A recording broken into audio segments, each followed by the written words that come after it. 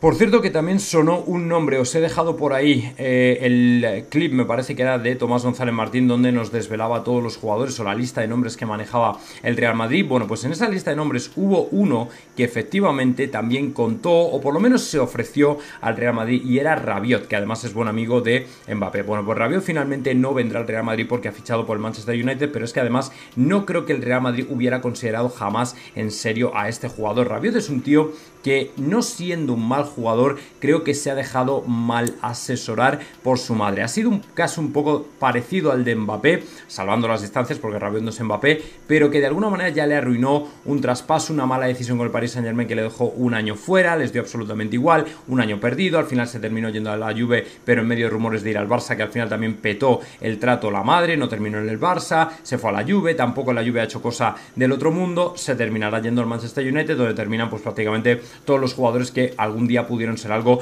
pero nunca serán nada, desde luego, hasta que no cambie el entrenador que es Eric Ten Hag. Así que, bueno, pues en ese sentido, simplemente deciros que es verdad que a Florentino se le ofreció al jugador, se le ofreció a Rabiot la posibilidad, su madre también estuvo intentando contactar con el Real Madrid para sacar un buen trato, pero no lo consiguieron porque el Real Madrid sabía más o menos por dónde iban los tiros, no era un jugador de primer orden, no era un jugador necesitado que cubriera una zona del campo necesitada y además encima para Guinda el tema de la madre pues no era una cosa, un plato de buen gusto para el Real Madrid cuando tienes que tratar con gente como la madre Rabio, como la madre Mbappé, es un dolor de muelas, porque no son profesionales y al final hacen cosas pues de no profesionales que embarranan todo y al final terminan retrasando o empeorando los tratos. Lo de Mbappé es diferente porque se ha salvado por ser el jugador que es, pero si no, si en lugar de ser la madre de Mbappé es la madre de Mbappé, ya os digo yo que no ficha por el Real Madrid ni de cachondeo, porque el, baile, el baile de cachondeitos que hemos tenido durante estos siete años, precisamente por en parte responsabilidad también de la madre, pues ni os cuento lo que hay. Así que bueno, esto es lo que hay en definitiva. Y luego ayer muchos de vosotros me escribéis un mensaje diciendo que el equipo había dicho que Mbappé se iba a perder la primera jornada de la liga y que no iba a estar. Y claro, aunque yo sé que ahora mismo Mbappé en esta pretemporada pues prácticamente no va a jugar con el Real Madrid porque pues prácticamente con todo lo que ha jugado en la Eurocopa se le va a dejar prácticamente fuera para que no se canse, para que no se sobrecargue y todo este tipo de cosas. Lo cierto es que me llamó la atención porque yo estaba prácticamente confiado en que al final, eh, aunque sea en la final de la Supercopa o por lo menos en la Supercopa, sí que efectivamente Mbappé va a estar. Bueno, pues el tema de esa jornada, esa primera jornada de liga, no se refería a la jornada de liga española, sino que por el contrario se refería a la francesa y se refería también al Caen, que efectivamente, por lo visto, va a jugar el 17 de agosto y Mbappé debutaría en teoría con el Real Madrid el 18 de agosto, ¿vale? O sea que efectivamente el jugador va a estar con el Real Madrid, pero no va a estar con el Caen, con su nuevo club. Bueno, esto es una noticia aquí un poco de, de un poquito de clickbait, han metido por ahí en defensa central, pero bueno, en cualquier caso, para aclarar, ¿vale? Que efectivamente Mbappé no va a estar, si no va a estar presenciando el partido de su equipo, pero además es que no tiene por qué, porque no se ha convertido en presidente del CAEN, se ha convertido en accionista mayoritario, pero eso no le obliga ni le fuerza a estar, obviamente, en el, Real, en, el palco cuando juega su equipo, ni nada parecido. O sea, no tiene nada que ver, por ejemplo, con la figura de Pique con el Andorra, ni nada parecido. El jugador, lógicamente, tiene sus deberes con el Real Madrid, tiene su hoja de ruta con el Real Madrid y absolutamente nada le va a impedir estar con el equipo blanco, entiendo, la primera jornada de liga, porque incluso estará también en la Supercopa frente al Atalanta, donde esperemos que pueda disputar minutos y que sea importante y que en definitiva se convierta en el jugador que queremos porque va a ser una auténtica pasada. Pero bueno, todavía quedan unos cuantos días para que eso ocurra. El jugador seguramente viene en 7 días, estamos a 31 de julio, pues en 7 días estará por aquí entrenándose con un grupo aparte, luego el día 8 de agosto con el resto del equipo, así que bueno, vamos a ver qué ocurre, vamos a ver qué sucede, vamos a ver qué pasa y si efectivamente todo ha ido muy bien, pues listo, está absolutamente controlado el tema y seguro que va a estar con nosotros.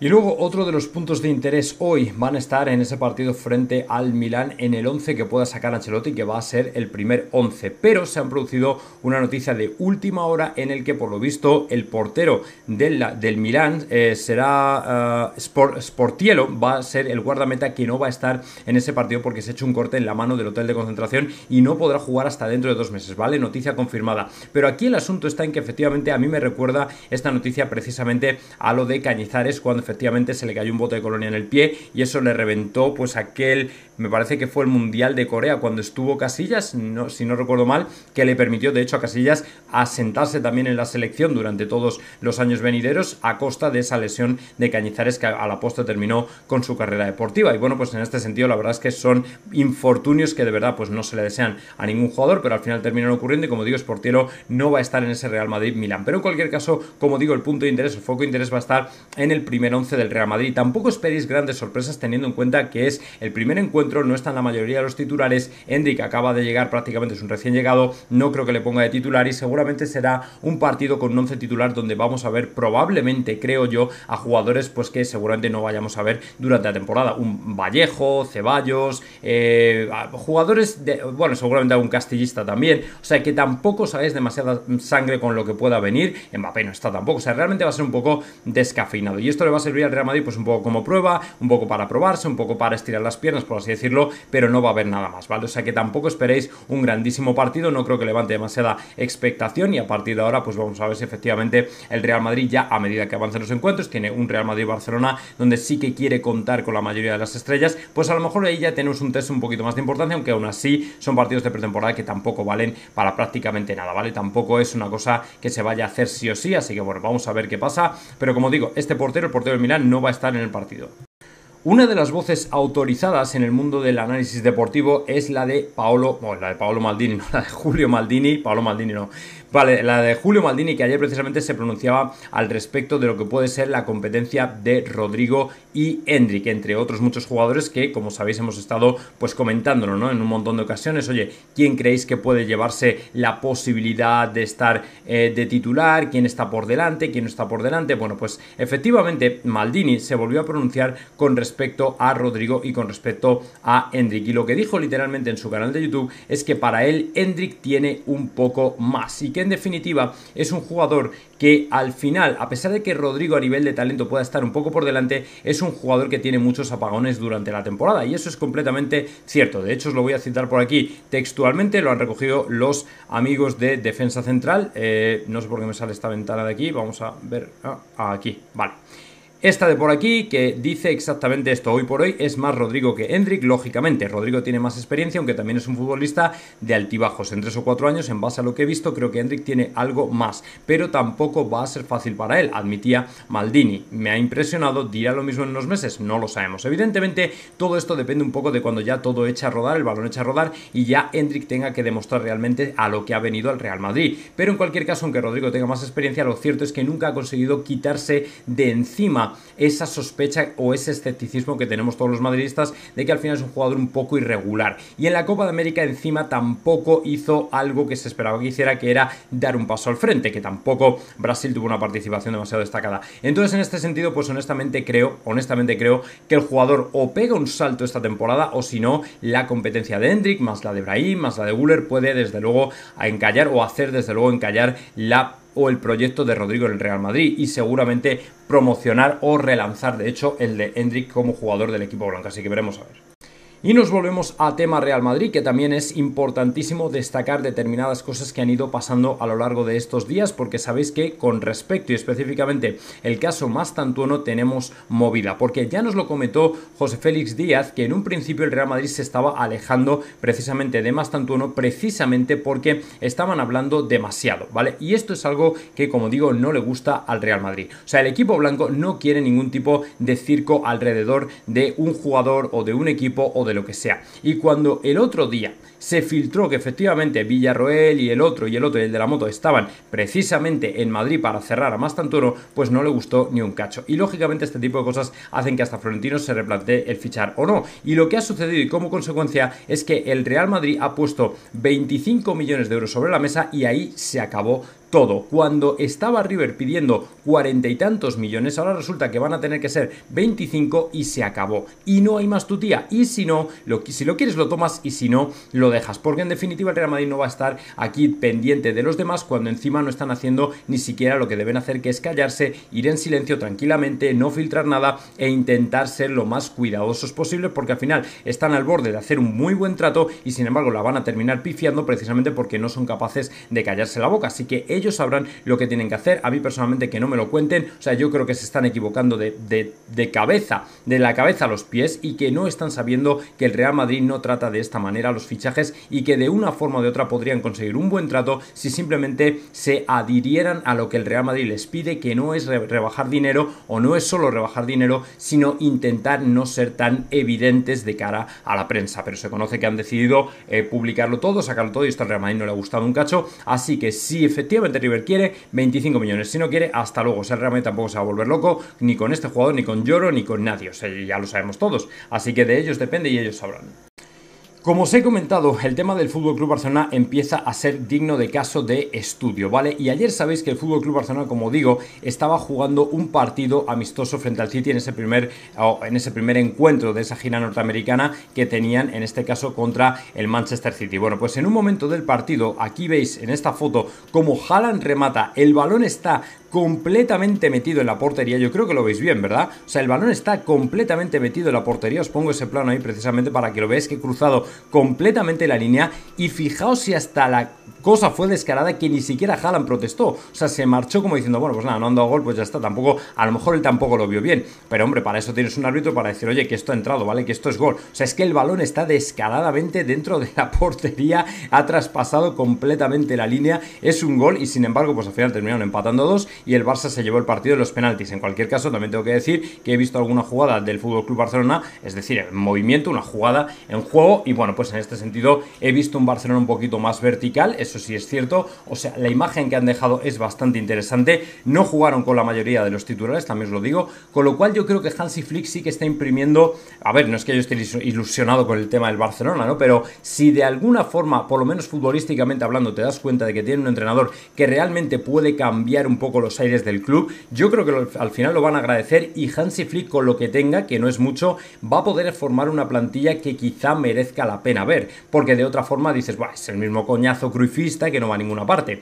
Pero Hansi Flick, en mi opinión, creo que le va a imprimir unos aires diferentes y desde luego lo que vimos ayer con el City en muchos eh, lances del encuentro, creo que anima precisamente a pensar a que a lo mejor tenemos otra cosa distinta para este año. Ahora ya, como lo sepan ejecutar o no, eso ya es cosa suya y lógicamente nosotros ahí no nos vamos a meter. En cualquier caso, y volviendo a determinados robos o cuestionamientos o este tipo de cosas, ayer resulta que en la televisión de Gol el señor Pedro Morata dijo algo que a mí me llamó la atención porque esta televisión técnicamente era una televisión del Fútbol Club Barcelona. Bueno, pues escuchad esto y luego comentamos, ¿vale? Que merece mucho la pena. Yo lo de Deco me parece muy bien, pero en el Barcelona manda Pini Sahavi y Alejandro Echevarría las decisiones más importantes deportivas las propone y las ejecuta Hansi Flick, Lewandowski, Pini Sahavi. Y el consejero mm, a nivel directivo más importante que tiene eh, Joan Laporta es Alejandro Echevarría. Luego ejecuta finalmente Joan Laporta. Pini Sahavi es el agente de, es el agente de Lewandowski ¿eh? y de otros futbolistas, lo cual quiere decir que de alguna manera quien manda en el club no son los directivos, sino quien la porta. Dice que aquí es donde viene la movida. Pero para mí la influencia más grande en el Fútbol Club Barcelona la tiene Pini Sahavi y Alejandro Echevarría. Debo decir que el Fútbol Club Barcelona ha hecho bastantes esfuerzos para reducir costes e incrementar ingresos extraordinarios y si logra resolver el agujero, que para mí es un escándalo, el Fútbol Club Barcelona, que es un club de una enorme repercusión mundial, ganó la Liga 22-23 de una forma bastarda, con un fair play, a pesar del gran control económico de la Liga, con un fair play hinchado, con una venta ficticia de 200 millones de euros por el 49% de una cosa llamada Barça Estudios, que no vale el 49%, 200 millones. Prueba de ello es que solo han cobrado 40 y tienen sin cobrar 100 casi durante un año, que llevan diciendo que lo van a cobrar, que lo van a cobrar, que lo van a cobrar, pero que no lo han cobrado. Eso a mí me parece un escándalo. La liga se lo tragó porque el auditor que cambió el Fútbol Club Barcelona, que cambió de, de Ernst Young, cambió a Graf eh, Thornton,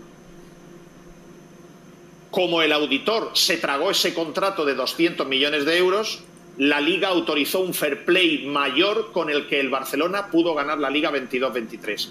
Ahora mismo el Barcelona tiene incobrados, incobrados 100 millones, vencidos y no cobrados. Y el 30 de junio del año que viene tiene que cobrar otros 60.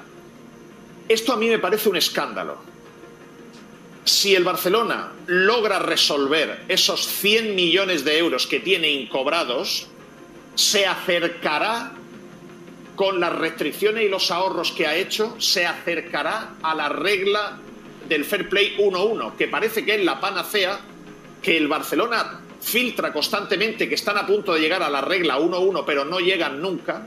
Y cuando lleguen a la regla 1-1, lo que va a suceder son dos cosas. Es que el Barcelona ya no le volverán a dejar excederse del límite salarial que le marque la liga y además solo podrá incorporar jugadores con lo que ahorre de salida.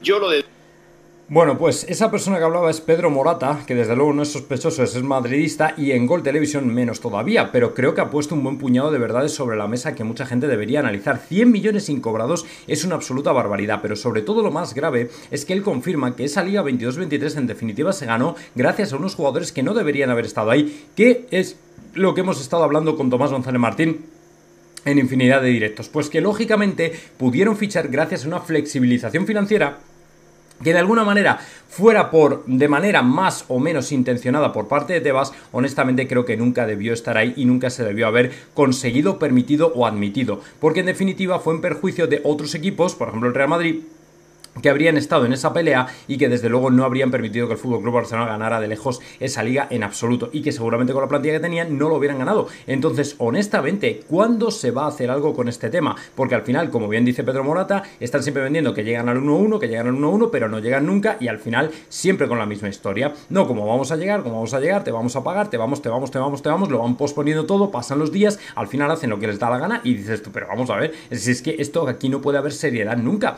porque hay muchos equipos que se van a sentir muy, muy gravemente perjudicados por lo que está haciendo el Fútbol Club Barcelona. Pero bueno, chico, que ellos sabrán lo que hacen, a mí que no me miren, yo personalmente creo que se está cometiendo una irregularidad muy grande, por lo menos no una irregularidad, pero sí de alguna manera algún tipo de negligencia permitiendo determinadas cosas que va a hacer Barcelona. Ahora ya cada uno que piense lo que quiera. ¿Qué tal amigos? Muy bienvenidos seáis todos. Un día más tenemos que hablar de fichajes porque como corresponde a mediados o a finales, mejor dicho ya del mes de julio, prácticamente 1 de agosto, el Real Madrid sigue trabajando en ello. Pero quiero aclarar que hay una noticia por ahí circulando de una decisión tomada por parte del Real Madrid, me parece que es de Athletic quien lo comenta, que el equipo blanco, la directiva, ha entendido que es mucho mejor no fichar o que por lo menos no hace falta fichar y desde luego es algo que vamos a tratar porque yo no las tengo todas conmigo. Luego vamos a comentar también el primer robo de la temporada del Fútbol Club Barcelona con un gol anulado a Haaland que si lo visteis en ese amistoso frente al City es de verdad de cajón de madera de pino, o sea, pero ¿cómo puede ser ese gol anulado? Bueno, vamos a ver la imagen que lógicamente no deja lugar a la duda de que el balón estaba dentro, pero esto nos sirve como preparación para una temporada que madre mía, esperemos que sea el Barça de Hansi Flick el que se lleve todo el protagonismo y no una vez más los arbitrajes los que lo tengan, ¿vale? Y lo digo de verdad con todo el respeto y corazón hacia la afición culé y hacia el Fútbol Club Barcelona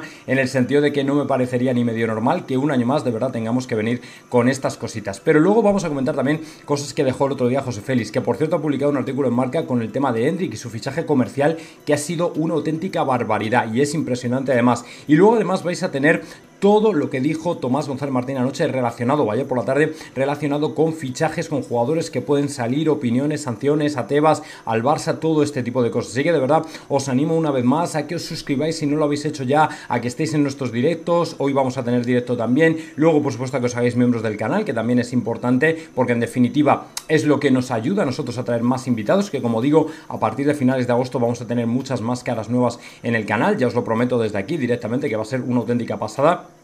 Y como digo, de la forma y de la manera que entendáis o que creéis que nos podéis ayudar, oye, pues bienvenido sea, que nos lo vamos a pasar muy bien. Y vamos ya ni más ni menos que con la primera noticia, que es primeramente ese, esa supuesta decisión que habría tomado el Real Madrid de no fichar a nadie según de Athletic. Bueno, dejadme que os diga que esto es una vieja historia del mercado, es una vieja historia que ocurre muchos veranos cuando el Real Madrid aparentemente decide no ir al mercado. Sabéis que es verdad que también ha ocurrido durante otros años cuando Cristiano Ronaldo salió, cuando Benzema salió, se decía, oye, que el Madrid no va a ir al mercado, que no va a venir nadie, que tal y cual. Vale, perfecto. Pero es verdad también que al final el Madrid, siempre cuando ve una oportunidad de mercado, termina haciéndose con algún jugador. Que a lo mejor no es uno de los esperados, no es un Davis, no es un Lloro, no es un no sé qué, pero siempre termina cayendo alguien. Y ahora mismo, con todo el mes de agosto por delante, José Félix lo advirtió el otro día, es que queda mucho mercado y no cierra la puerta a que al final se presente algo y el Real Madrid se tenga que lanzar, con lo cual esta opinión o esta decisión, que además por cierto corroboró Ancelotti en rueda de prensa diciendo la plantilla está cerrada, Ancelotti dice lo que se supone que tiene que decir, pero Ancelotti se está ocultando ases bajo la manga y eso lo sabemos todos, o sea, no seamos ingenuos, evidentemente el Real Madrid si puede va a fichar y Ancelotti lo que pasa es que en una rueda de prensa, pues ¿qué te va a decir? Pues evidentemente que la plantilla está cerrada, que todo el mundo se quiere quedar, que no va a haber fichajes, que cuento con los que tengo, porque el Real Madrid juega así, porque si el Real Madrid no le ha sentado bien que en Mastantuono o su entorno estén filtrando determinadas cosas, Imaginaos qué le va a decir si no Ancelotti lo que tiene que decir en la rueda de prensa. Pues lógicamente no vamos a fichar, no estamos interesados en nadie, no vamos a vender. Aquí no se dice absolutamente nada porque el silencio es sepulcral y el Real Madrid es completamente hermético. Pero esto me lo creo solamente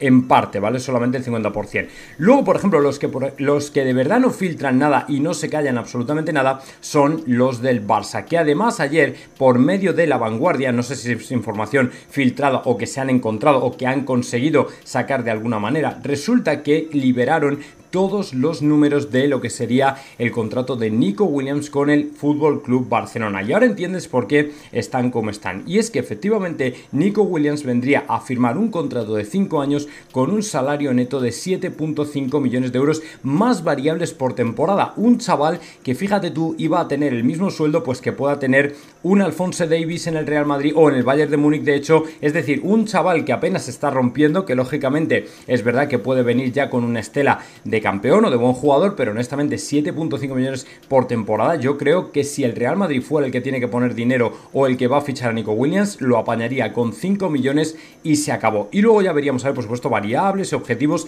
y todo este tipo de cosas, pero ni de coña, de verdad veo yo al Real Madrid pagando 7.5 millones, que al final lógicamente van a ser más, porque va a ser, si metes 10 goles, eh, no sé cuánto más te doy, si te presentas al entrenamiento todos los días, te doy otro millón, o sea, al final se le puede poner en 10 millones y ya te arrimas a cifras tipo Vinicius, tipo Bellingham, tipo Mbappé, o sea, cosas que dices tú, pero bueno, ¿de qué estamos hablando? ¿no? Entonces este tipo de eh, maniobras financieras, al final lo que le tienen que decir al socio del Barcelona es cuidado porque con lo que estés jugando es con fuego, vais a cometer otra vez el mismo error de siempre. Entonces yo de verdad que lo veo absurdo que al final se metan en este tipo de berenjenales cuando realmente no tienen esa necesidad.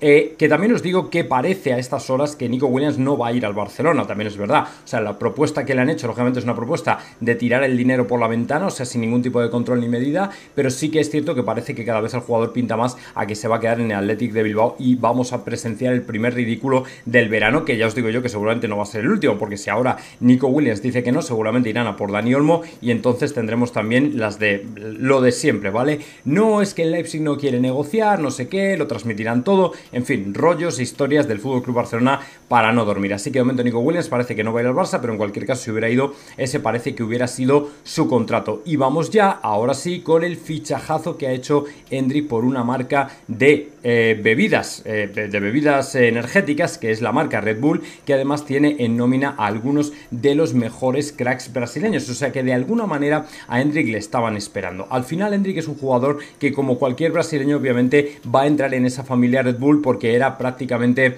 un escándalo que no estuviera ya. Es un jugador que ha venido de menos a más y que precisamente por su unión al Real Madrid es por lo que el jugador ha terminado fichando por la marca. Y esto lo informa José Félix Díaz. Y como sabéis, al final se une a jugadores como Neymar, como Alexander Arnold Tren o por ejemplo Memphis Depay que ya estaban por ahí. Además de que también tienen otros nombres de otros diferentes deportes. Obviamente el dinero no se ha, eh, no se ha liberado, no se ha sabido, no se sabe cuánto o por cuánto habrá firmado, pero normalmente, a ver, este este contrato no creo que sea igual que el salario que pueda tener en el Real Madrid, pero tampoco creo que ande demasiado lejos y seguramente Hendrik ha firmado por un buen pastizal, que luego junto con otros patrocinios que da por ahí, que ya sabéis que Hendrik es la marca, me parece que de New Balance, sí, efectivamente está por aquí en el balón, la marca de New Balance, pues evidentemente, ¿qué os voy a decir? O sea, la pasta que se va a llevar, aparte de la que ya puede generar en el Real Madrid, es absolutamente, vamos, ya me gustaría a mí el 10%, o sea que ya os digo que el chaval desde luego tiene las espaldas bien aseguradas y ahora lo único que falta es que triunfe en el Real Madrid, que de hecho eso es lo que se espera que haga, que al final sea una gran figura del equipo blanco y que en definitiva se convierta en el jugador que todos esperamos que sea, en un grandísimo jugador que marque las diferencias, de momento los entrenamientos lo está haciendo muy bien, vamos a ver si efectivamente juega con el Milán o no, vamos a ver si Ancelotti le da esa oportunidad, yo estoy convencido de que al final a lo mejor algunos minutos, no como titular quizá, pero seguramente algunos minutos va a tener, porque además en los entrenamientos, por lo visto con Arda Guller, lo está petando, lo están haciendo increíblemente bien, y bueno, pues en ese sentido vamos a ver qué pasa, habrá que esperar seguramente un poquito más, pero ya os digo que el funcionamiento y la carrera de Hendrik en el Real Madrid va a ser asombroso, no me quepa la menor duda de que el chaval ha venido para hacerlo mejor, y no me quepa la menor duda de que va a ser un pedazo de fichaje que va a dar mucho que hablar, ahora ya queda ver dónde va a ser encajado, porque evidentemente Ancelotti aquí sí que tiene un puzzle y además importante e interesante.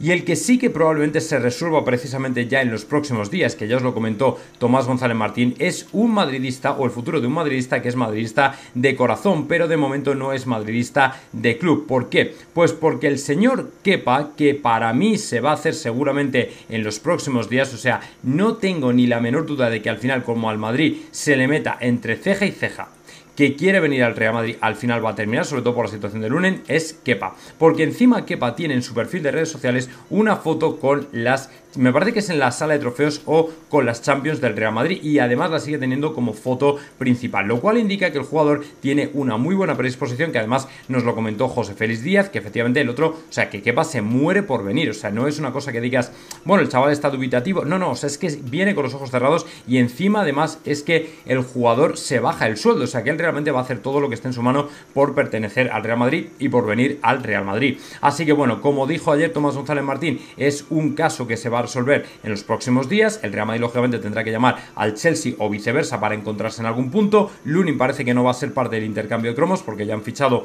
los del Chelsea al portero del Villarreal, con lo cual Lunin seguramente no va a ir para allá. Pero sí que Kepa puede venir con un recorte de sueldo, seguramente con más facilidades o lo que sea. Pero si el Chelsea entiende que un buen traspaso que le deje un dinero le hace que el jugador se vaya al Real Madrid y deje dinero en el club, que también lo necesitan, pues evidentemente creo que así va a ir la cosa. Así que bueno, pues ojalá que así sea y que en definitiva el jugador pueda venir al Real Madrid porque yo entiendo que sí que es recuperable, que sí que es un buen portero y que al final sí que puede hacer cosas que se puedan mejorar junto con Jopis, entrenándolo, lógicamente puede mejorar, puede ser mejor jugador y definitivamente puede ser alguien que sea un buen suplente de Courtois, además de que tiene una actitud sobradamente demostrada y contrastada de madridismo y de que va a ayudar al equipo y de que no tenemos que temer ni mucho menos porque el jugador empiece a jugar con otras ofertas de otros clubes, pues como a lo mejor le ha pasado a Lunin por el hecho de que quiere jugar. Nada absolutamente parecido. Por cierto que otra de esos artimañas, otro de esos artilugios o ingenierías eh, financieras que hace Florentino para pillar pasta de prácticamente todos los lados, ha sido el trato que está a punto de ejecutarse entre el Levante y el Valencia por un jugador que de hecho pasó precisamente por el Real Madrid y que precisamente por eso, porque se quedó una parte de los derechos del jugador, ahora en ese traspaso va a pillar dinero, que tampoco creo que sea una locura, pero sí que es verdad que al final va a ocurrir, o sea que no os estoy mintiendo. Dani Gómez se va a convertir en jugador del Valencia en las próximas horas, puesto que el Levante ha decidido que se puede marchar. Pasó por las categorías inferiores del Real Madrid, donde ha dejado en su salida o donde dejó el 50% de sus derechos, de manera que el Madrid podría obtener otro pellizco por él. No tengo ni que deciros que el Real Madrid obviamente no cuenta con este jugador y que precisamente por eso es por lo que muy probablemente el jugador termine en el Valencia, que está muy bien, que es un buen equipo, donde desde luego puede tener una oportunidad de oro, pero sí que es verdad que en principio el Real Madrid tampoco le tenía en cuenta, por lo menos no contaba con él. Con lo cual, pues de Ancelotti ha decidido decir, mira, este es un descarte, no vamos a contar con él y automáticamente pues que haga lo que quiera. Si quiere fichar por el Valencia, pues igual que con Reinier, que ahora mismo no está en la gira de Estados Unidos, marcó el otro día tres goles, pero ni eso ha hecho cambiar la voluntad de Carlo Ancelotti, que en un principio le va a dar la carta de libertad o la posibilidad, no la carta de libertad porque tiene contrato hasta 2025, pero sí la posibilidad de marcharse a otro club porque en definitiva el jugador querrá jugar, querrá ser importante también aquí en España y precisamente por eso tiene que buscarse una salida, ¿vale? Así que bueno, pues vamos a seguir esperando un poco más para ver qué ocurre, por cierto, con Reinier, que es un caso que hay que resolver, también con Vallejo, que es otro expediente X, que vamos a ver qué pasa, yo entiendo que no seguirá, vamos a ver un poco de qué depende que el Real Madrid vaya al mercado o no, se dijo que iba a ser un poco en función de lo que Alaba dijera o decidiera y a partir de ahí pues veremos a ver, pero en cualquier caso este chaval sí que va a dejar dinero el Real Madrid, por eso el Madrid siempre le pone el 50% de los derechos, os deja un derecho de tanteo en el futuro o lo que sea. Siempre se deja una puerta abierta con cualquier jugador. Y luego hay una historia bien curiosa que está poniendo muy de moda de Gref, el youtuber, famoso youtuber, que bueno, pues anda haciendo cositas como comprarse la camiseta del Real Madrid con el nombre de Messi, todo ese tipo de cosas, pero no puede. Y claro, todo eso ha traído a la mesa de debate o a colación que hay una serie de nombres prohibidos en las camisetas del Real Madrid, es decir, que tú te la compras y no puedes poner cualquier nombre que se te venga en gana. Y hay una lista de 14 nombres que ahora os voy a desvelar que no puedes intentar serigrafiar en esa camiseta. Y esos nombres son Messi, Ronaldo, Haaland, Juanfran, Simeone, Zidane, Lewandowski, Benzema, Laporte, Lloro, Grisman, Morata, Yamal, Davis, Cristiano Ronaldo, Sergio, Sergio Ramos, Ronaldo, Di María, Ronaldo está repetido, Di María, James Marcelo, Higuaín, Kaká, Beckham, Casilla, Redondo, Di Stefano o Roberto Carlos, ¿vale? De hecho, son un total, estos son digamos los 14 más significativos, pero son un total de 320 las combinaciones que el Madrid no permite vender en su web, precisamente no por ya una decisión del propio Florentino, sino por evitarse problemas con el tema de los derechos de imagen, porque muchos de estos nombres ya no solo siguen en activo, sino que son bien conocidos en el mundo y evidentemente tú no puedes agarrar y ponerle en una camiseta de Real Madrid el nombre de quien sea, que luego tampoco creo que esto vaya a tener un interés comercial pero sí que es verdad que el hecho de que lo venda el Real Madrid, que sea el Real Madrid que te facilite ese nombre, es diferente. Otra cosa es que tú te compres la camiseta y te vayas a no sé dónde a serigrafiarla, que eso ya no tiene nada que ver con el Real Madrid. Y evidentemente el Real Madrid no te va a multar por llevar ese nombre, pero el Real Madrid no puede hacerlo de iniciativa. El Real Madrid es un club que tiene que respetar pues las marcas, los nombres de otros jugadores, de otros equipos y por tanto no puede liarse la manta a la cabeza y decir, sí, sí, podéis poner el nombre que sea, que nos da igual. No, el Real Madrid tiene que respetar y atenerse a unos derechos de imagen. Bastante pasta está haciendo ya con las camisetas de Mbappé, así que en este sentido no puede haber historias raras. O sea que por lo menos que sepáis que hay 14 nombres que son los más destacados que no se pueden y hasta otras 320 combinaciones que no vais a poder hacer en las camisetas. O sea que esto no es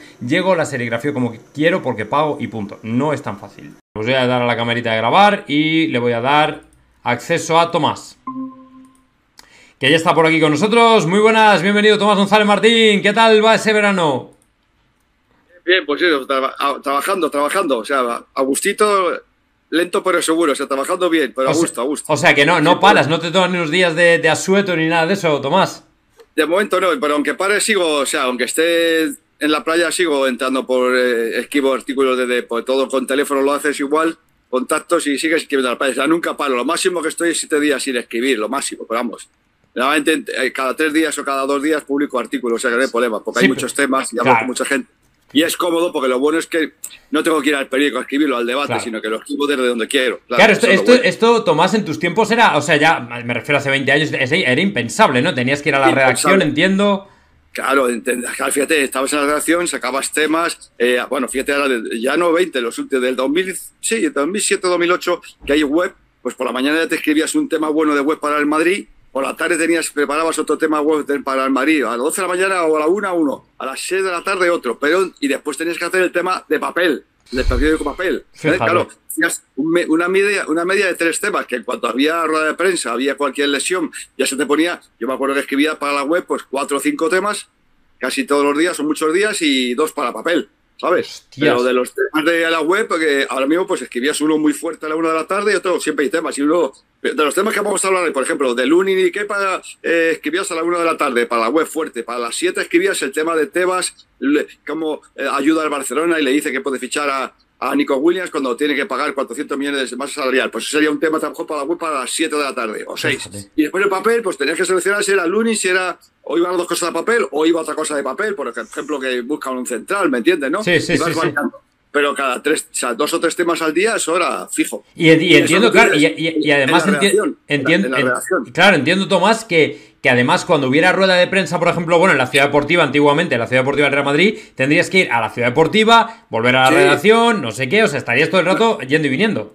No, claro, de deportiva, allí te, estabas allí, escribías una cosa, si había eh, suponte, Jesse vuelve a jugar, pues hacías una cosa previa antes de ganar a Ancelotti o Zidane o quien fuera, y después escribías la hora prensa, la escribías allí mismo, tranquilamente, después la escribías allí mismo todo. Si tenías un tema, tenías dos, después a las dos y media, tres te ibas a casa, comías algo y a las cuatro y cuarto, cuatro y media estabas en el periódico, efectivamente, sí, sí, sí. Uy, o sea, que, era, era todo el día sin parar. Sí, sí, claro, claro, claro, sí, pero, era, pero bueno, traías muchos temas, controlabas y lo que pasa es que la web, la web se ha convertido en la esclavitud de los periodistas porque está abierta a las 24 horas y cualquier noticia se da al instante. Ya no es como antes que de papel claro, entonces se da al instante. Y si tú tienes noticias o tienes un tema bueno, lo vendes bien, eh, se vende muy bien, un tema grande. Eh, la historia de Cristiano, cómo vino de Andoriña, cómo vino de, de Funchal y cómo lo pasó mal en, la pensión de Joan Sebastián porque tenía un acento de Madeira y se reían de él porque tenía acento de pueblo. Pues esas historias son muy bonitas, las escribías, pues después estaba también la actualidad, claro, claro, claro, sí, sí, pero escribíme para la web cinco temas hace dos años, escribí para la web cinco temas al día y para el papel uno o dos, eso te podía ocurrir dos veces por semana, y escribí para la web dos o tres al día y uno para papel era lo normal, lo normal. Madre mía. Oye, Tomás, mira, justo antes de que entraras hemos estado viendo que ha, venido, ha estado Ciro López en, en, otro programa, en otro canal de YouTube, hablando de su demanda con Pedrerol, que están ahora aliados y tal. Eh, claro, y decía que es un proceso largo y todo eso. A ti te ha, eh, ya un poco por curiosidad, luego ya pasamos a la actualidad del Real Madrid. Eh, a ti te tú te has visto en, situaciones similares de juicios con quien te ha demandado por información o por lo que sea o por imputarle un delito o lo que sea. ¿Tú te has visto en ese tipo de por, causa de tu profesión me refiero?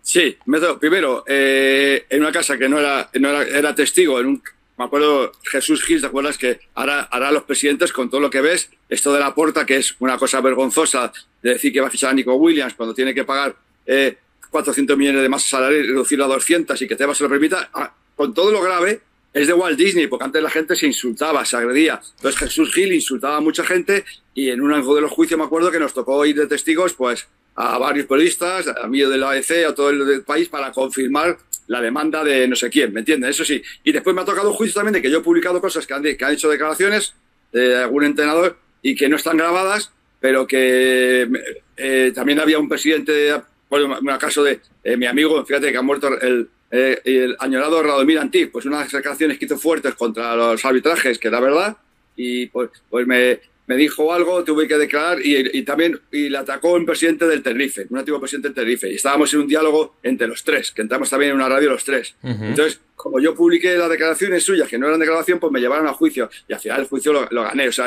claro que le he dicho, o sea, él no negaba que lo hubiera dicho, sino que se había pasado que, que, el periodista tuviera más cuidado. Se había pasado un poquito, que había dicho que el presidente del Tenerife, pues se había ido, pues fíjate, eh, lo que pasa, se había llevado comisiones de fichaje, ¿me entiendes? Uh, ya, ya, ya. Rollos, rollos, de antes, ¿no? Y eso, al decirlo, decirlo y publicarlo, o sea, pues puede que se haya, me dicen que hasta se ha llevado comisiones de fichajes. Pues eh, eso fue a juicio, que al final no terminó en nada.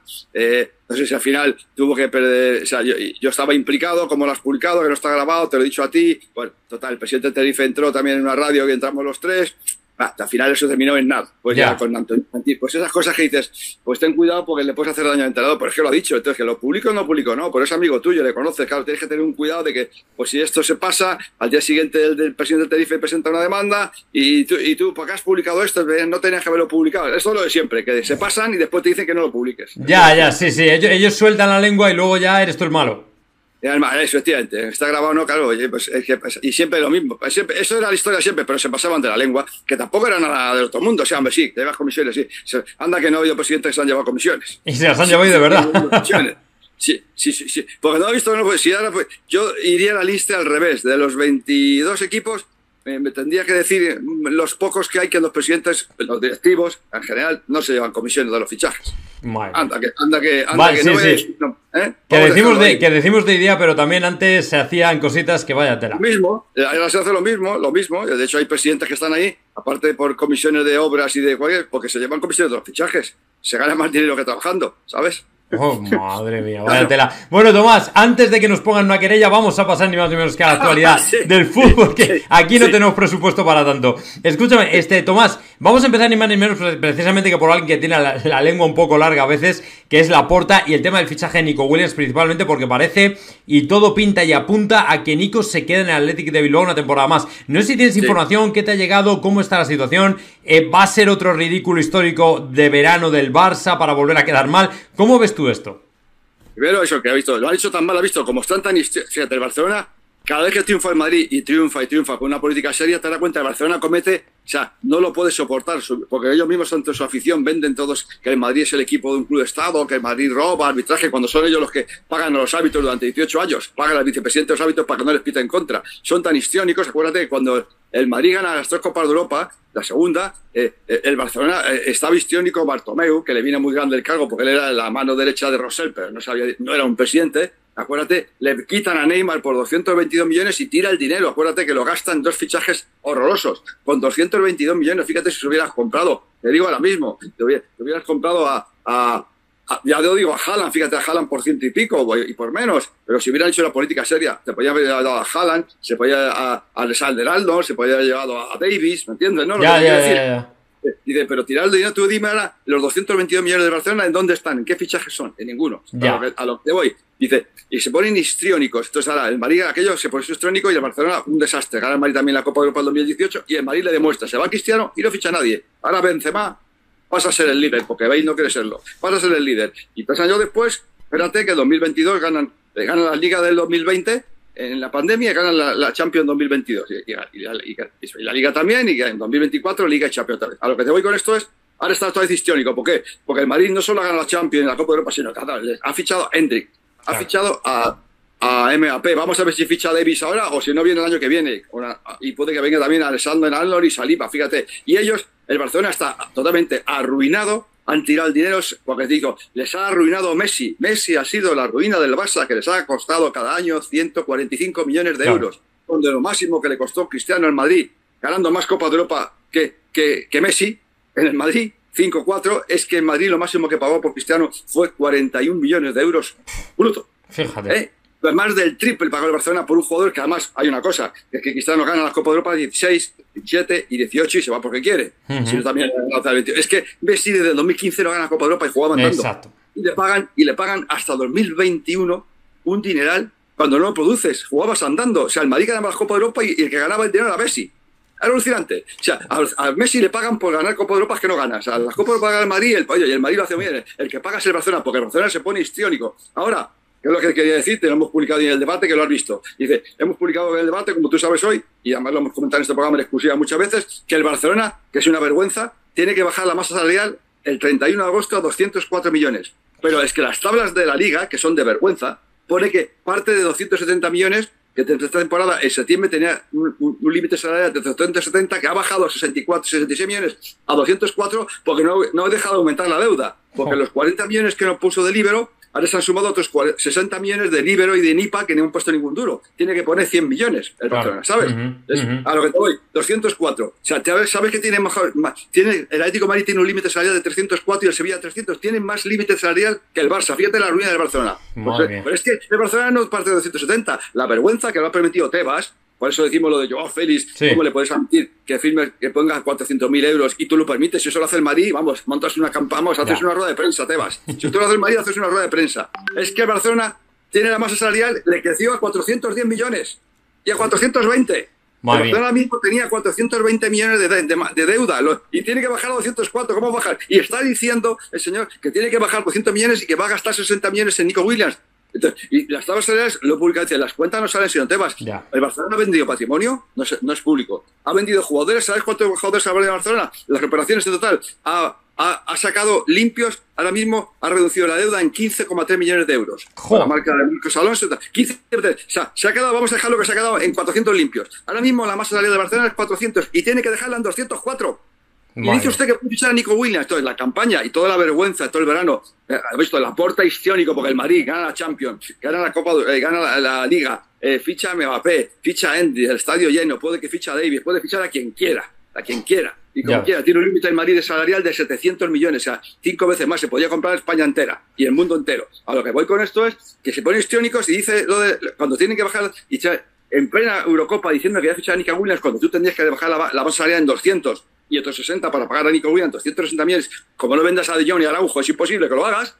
Y entonces, claro, la campaña ha visto como la liga no defiende a la Bilbao, no defiende a los clubes, y lo he dicho, lo he escrito hoy, lo aseguro, y lo digo que me demande, señor Tebas, usted no defienda a los clubes, defiende al Barcelona porque quiere un Barcelona fuerte, primero para luchar contra el Madrid, que es su enemigo, por el que tiene 50 demandas, y segundo, porque la liga que usted que vende en el mundo tiene que tener un Barcelona fuerte, porque si no la liga, el Madrid se lo, se lo come, ya se lo ha comido. Entonces quiere usted que ven que ficha Merino, que ficha Olmo, que ficha Nico Williams, que ficha quien sea, para hacer un equipo fuerte al lado del Madrid. Y no lo tiene.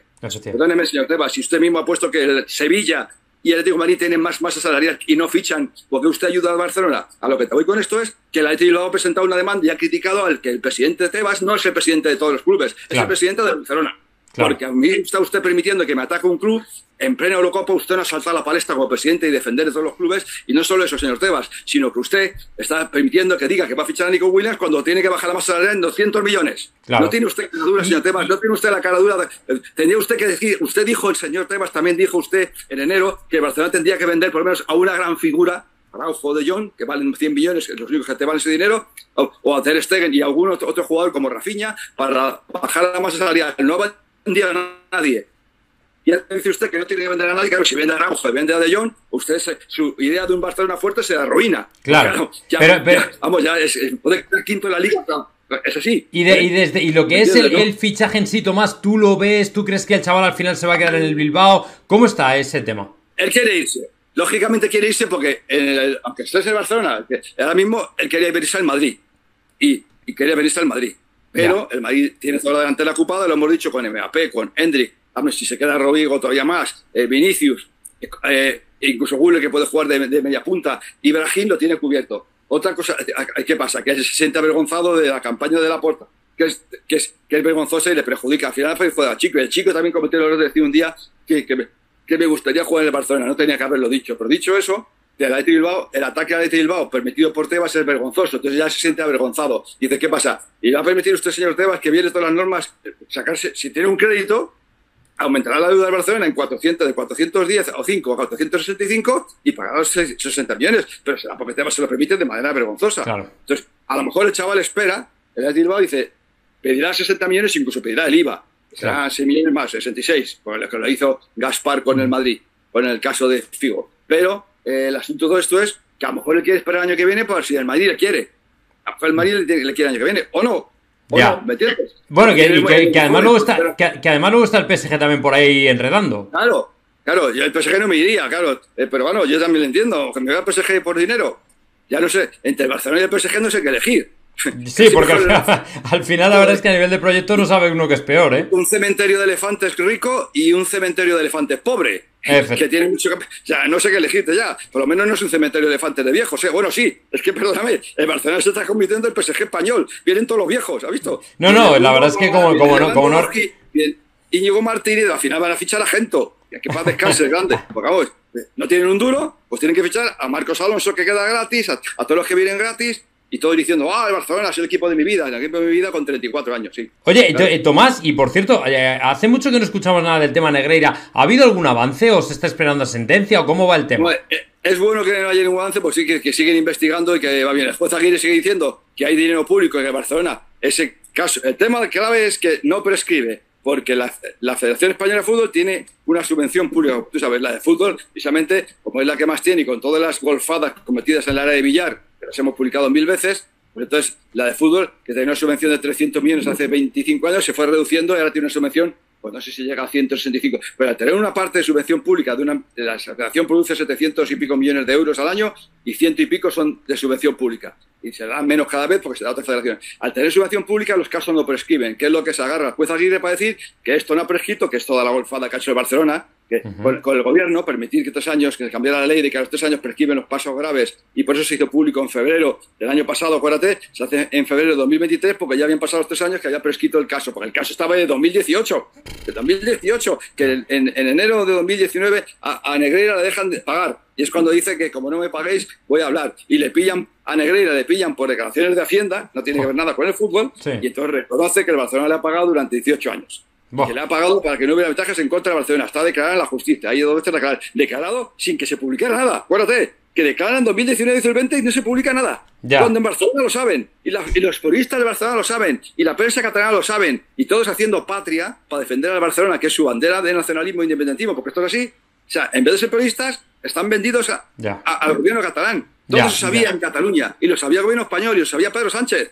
Totalmente. Oye, y, Tomás, ¿y, tú vaticinas algún tipo de sanción o qué tipo de sanción crees que le puede caer al Barça? Si lo que quiere el juez una sentencia o aconseja a la federación, dice, puede desde que lo, si aplica la sección más dura es, aparte de la multa, que la multa ya me da lo menos, porque a mí al final es dinero, puede bajar la segunda división y decir que no si, con que le baja a segunda división o sancione con que le quita todos los títulos de la, de la época, que son le quita nueve títulos de liga y le quita ocho de copa y nada más, que, pero que no, le, no le baja segunda, eso ya la UEFA tenía que ser suficiente para que la UEFA le meta dos años de sanción sin competir en Europa. Que después le puede dejar en uno, pero son dos.